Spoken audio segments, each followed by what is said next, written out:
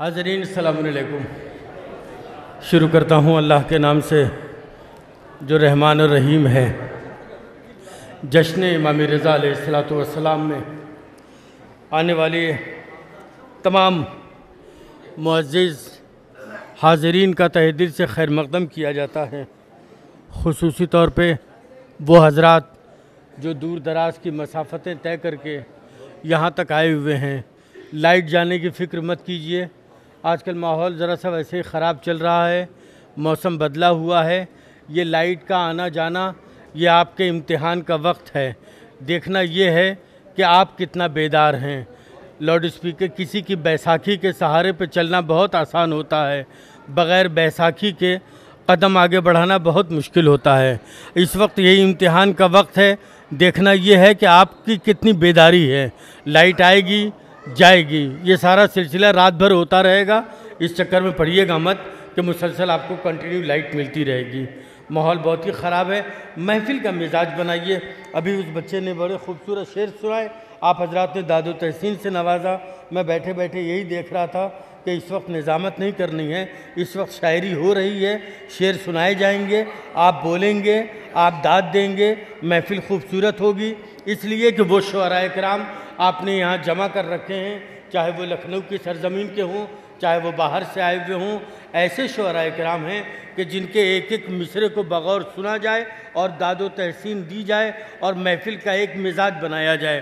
اس لیے مجھے بات بہت کچھ نہیں کرنی ہے، مجھے صرف نام بلانا ہے۔ اگر اس سال، پچھلے سال کی طرح اس سال بھی مجھے نہ بلایا جاتا تو مجھے کوئی شکایت نہ ہوتی۔ اس لیے کہ اس محفل کا مزاج ہی یہ ہے کہ یہاں نظامت کی ضرورت نہیں ہے، یہاں تو شاعری ہوتی ہے، شعر سنائے جاتے ہیں، شعر سنے جاتے ہیں، داد دی جاتی ہے۔ عزیز و بچے نے جہاں سے بات چھوڑی تھی کہ اتنا تو رسولوں کو سنورتے نہیں دیکھا۔ میں آج سے پچیس سال پہلے آپ کو لے چلتا ہوں۔ اسی لکھنؤ میں جب میں نے یہ مصرے پڑھے، تو مجھے لکھنؤ والوں نے بڑے خوبصورت انداز میں نوازا۔ میں اسی جگہ چلتا ہوں۔ پچیس سال پہلے کا مطلع آپ حضرات کی خدمت میں لے آتا ہوں۔ وہ لوگ سنیں جو پہلی بار اس مطلع کو سن رہے ہیں، اور وہ لوگ بولیں جو پچیس سال سے سنتے چلے آ رہے ہیں کہ فرعون کو سیدھا کبھی چلتے نہیں دیکھا۔ فرعون کو سیدھا کبھی چلتے نہیں دیکھا۔ گرتے ہوئے دیکھا ہے، سنبھلتے نہیں دیکھا۔ لے جا کے جہنم کی انہیں سیر کرا دو۔ جن آنکھوں نے نمرود کو جلتے نہیں دیکھا۔ بس ہو گئی بات نا، اب یہاں سے شاعری ہے۔ اب ایک ایک شعر پہ آپ کو داد دینی ہے۔ یہ دیکھیے میری نگاہ کے سامنے، ایک، دو، تین، چار، پانچ، چھ، سات، آٹھ، نو، دس، گیارہ، بارہ۔ بارہ کیمرے لگے ہوئے ہیں۔ بارہ کیمرے کے تین تین پاؤں ہیں۔ یعنی بارہ تیائی چھتیس۔ یہ چھتیس پاؤں جو ہیں، بہت سے لوگوں کے ہاتھ کو انٹرپٹ کر رہے ہیں یعنی روک رہے ہیں۔ لوگ داد دے رہے ہیں، لیکن یہ چھتیس پاؤں میں ان کا ہاتھ دکھائی نہیں دے رہے۔ ہیں تو ہاتھ وات میں دیکھ نہیں پاؤں گا، میں تو آواز سنوں گا۔ میں مطلب سنی مطلب کے بعد کے شعر سنیے کہ فرعون کو سیدھا کبھی چلتے نہیں دیکھا۔ گرتے ہوئے دیکھا ہے، سنبھلتے نہیں دیکھا۔ یہاں سے شعر سنیے گا کہ ہر چیر کے دکھلا دے، انہیں اپنا کلیجہ۔ جن لوگوں نے پتھر کو پگھلتے نہیں دیکھا، ہر چیر کے دکھلا دے انہیں اپنا کلیجہ، ہر چیر کے دکھلا دے انہیں اپنا کلیجہ۔ جن لوگوں نے پتھر کو پگھلتے نہیں دیکھا، ہر چیر کے دکھلا دے انہیں اپنا کلیجہ۔ جن لوگوں نے پتھر کو پگھلتے نہیں دیکھا، جن لوگوں نے پتھر کو پگھلتے نہیں دیکھا، سولی پہ سنا کرتے ہوئے دیکھا ہے لیکن، خنجر پہ گلا رکھے ہوئے دیکھا ہے لیکن شبیر کے مقصد کو بدلتے نہیں دیکھا۔ خنجر پہ گلا رکھے ہوئے دیکھا ہے، لیکن شبیر کے مقصد کو بدلتے نہیں دیکھا۔ آخری شعر اس سلسلے کا۔ اس کے بعد آپ کو داد و تحسین میں سلسلے کا آخری شعر پیش کر رہا ہوں۔ اگر پسند آئے تو مل کے بولیے، نہ پسند آئے تو سب خاموش رہیے۔ میں پیش کر رہا ہوں کہ ہر چیر کے دکھلا دو، انہیں اپنا کلیجہ۔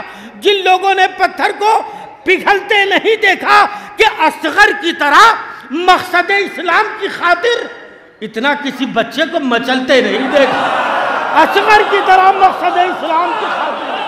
اصغر کی طرح مقصد اسلام کی خاطر۔ اصغر کی طرح مقصد اسلام کی خاطر۔ اتنا کسی بچے کو مچلتے نہیں دیکھا۔ اتنا کسی بچے کو مچلتے نہیں دیکھا۔ اتنا کسی بچے کو مچلتے نہیں دیکھا۔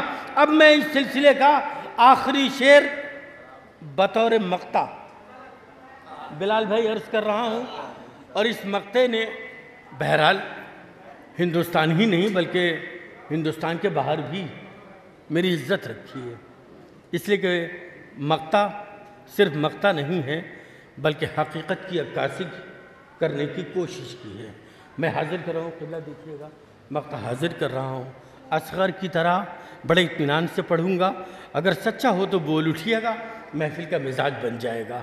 اصغر کی طرح، اصغر کی طرح مقصد اسلام کی خاطر، اصغر کی طرح مقصد اسلام کی خاطر۔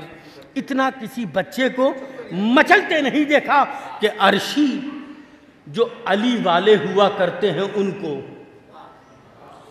عرشی جو علی والے ہوا کرتے ہیں ان کو مشکل میں کبھی ہاتھوں کو ملتے نہیں دے عرشی جو علی والے ہوا کرتے ہیں ان کو۔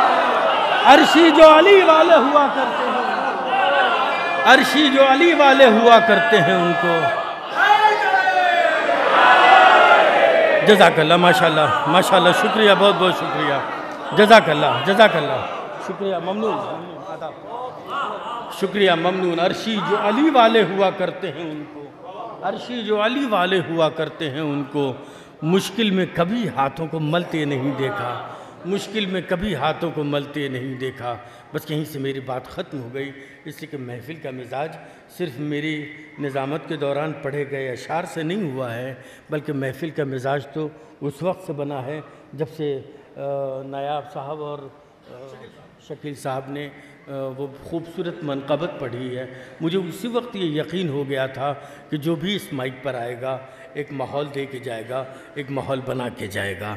آئیے عزیزو، اس کے بعد نایاب صاحب اور شکیل صاحب کے بعد اس بچے نے جو کلام پیش کیا وہ بھی ایک خوبصورت ماحول اور اس وقت جو دو شاعر تشریف لا رہے ہیں، یہ بھی محفل کو خوبصورت مزاج بخشنے والے شاعروں میں کی فہرست میں سے ہیں۔ جناب معروف صاحب سرسوی اور جناب شبی صاحب گوپال پوری، یہ دو شاعر بھی ہمارے درمیان تشریف فرمائیں۔ ہماری فہرست مکمل ہو چکی ہے۔ قطعی طور پہ محنت کرنے کی گنجائش نہیں ہے۔ عزیزو، ایک نام ہماری فہرست میں ہے۔ کمسن مداح اہل بیت، میں نے اس کو بہت چھوٹا سا تھا۔ اس وقت سے یہ دیکھا کہ کلام پڑھنا ایک الگ بات ہے۔ کلام پڑھنے کے دوران ایک کانفیڈنس مینٹین کرنا یہ ایک الگ بات ہے۔ علی عباس صلی اللہ میں بچپن سے بہت چھوٹے سے تھے۔ اس وقت سے میں نے یہ دیکھا کہ بہت ہی کانفیڈنس کے ساتھ، بڑے اطمینان کے ساتھ، بڑے خوبصورت شاعری، خوبصورت ترنم میں آپ تک پیش کیا۔ اور مومنین لکھنؤ نے نہیں، بلکہ مومنین جہاں جہاں علی عباس گئے ہیں، وہاں وہاں کے مومنین نے بہت ہی محبتوں سے نوازا ہے۔ نتیجہ یہ ہوا کہ کربلا معلّہ میں بھی وہ اس وقت پانچ شابان کا جشن جشن زمیندار کربلا پڑھ کے آئے ہیں۔ آئیے استقبال کیجیے علی عباس زید پوری سلمہ سے کہ وہ مائک پہ تشریف لائیں اور بارگاہ امام رضا میں خراج عقیدت پیش کریں۔ آپ حضرت مل جل کے ایک سلوات بھیجئے۔